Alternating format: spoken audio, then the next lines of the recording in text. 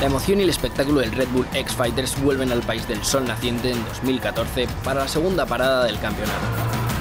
Por segunda vez en la historia, el Red Bull X Fighters vuelve a Japón con los mejores pilotos de motocross freestyle del mundo. Todos y cada uno de ellos con ganas de subir al podio en los jardines sagrados del Castillo de Osaka, al mismo tiempo que animan al increíble público japonés con sus trucos y locuras encima de la moto.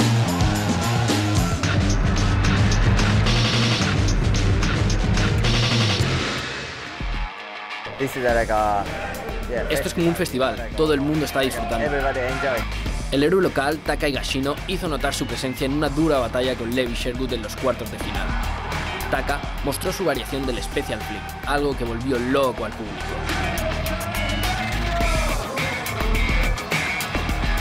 Taka is the man. Levi, por su parte, tiró una de las mejores rondas y para los jueces no hubo duda. Sherwood vence a Taka y pasa a la siguiente ronda.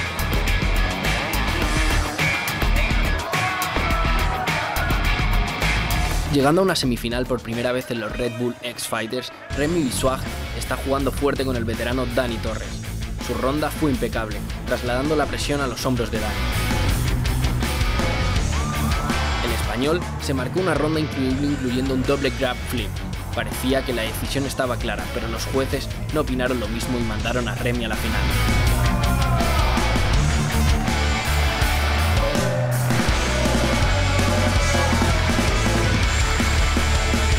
La segunda semifinal fue un duelo oceánico entre Australia y Nueva Zelanda.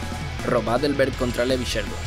Rob pilotó de forma increíble, lanzó todos los trucos necesarios para ganar, pero Levi estaba imparable y dejó en un segundo plano la ronda de Rob, avanzando así a la final. Levi contra Ray.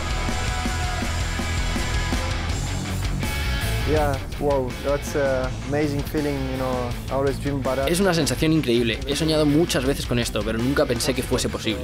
Ahora estoy muy feliz. Es un día increíble para mí.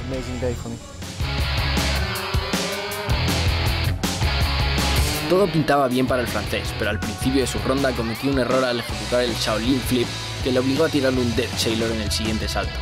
Milagrosamente controló controlar esa recepción y evitar una caída muy fea. Al acabar su ronda, Remy saltó con los fans, se nota que en Japón le quieren. Era el turno ahora de Levi, que tenía la final casi en bandeja.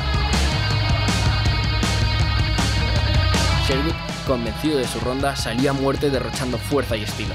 Ejecutó un increíble doble grab flip, el mejor del negocio. Nada mal teniendo en cuenta que era la primera vez que lo tiraba en el campeonato.